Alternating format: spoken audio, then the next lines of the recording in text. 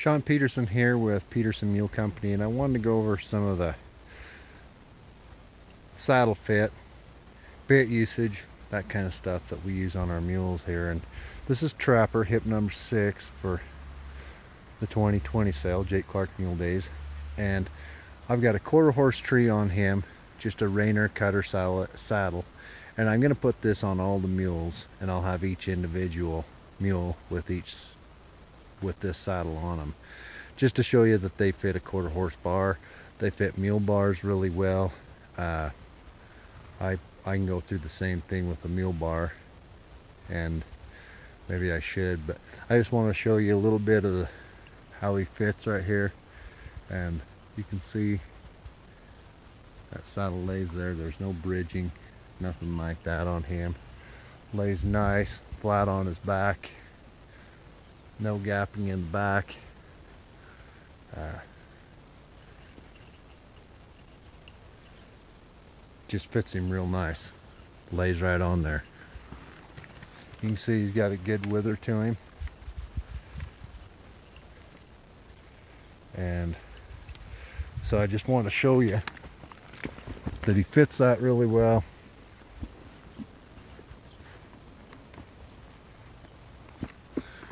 fits mule bars really well.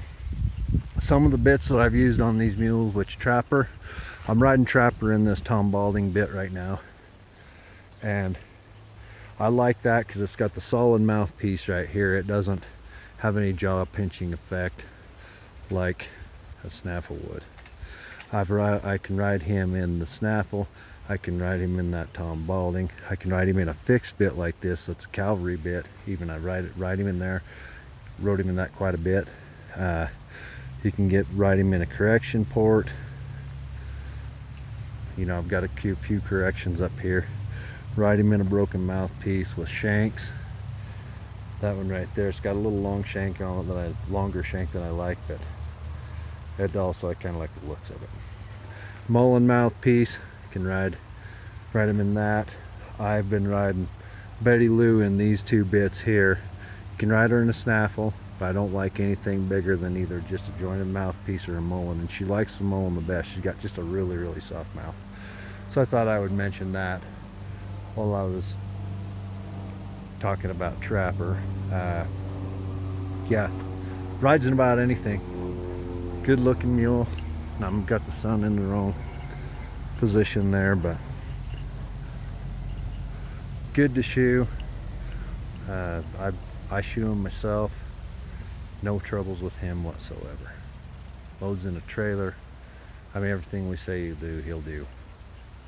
So that's little video clip on saddle fit for Trapper.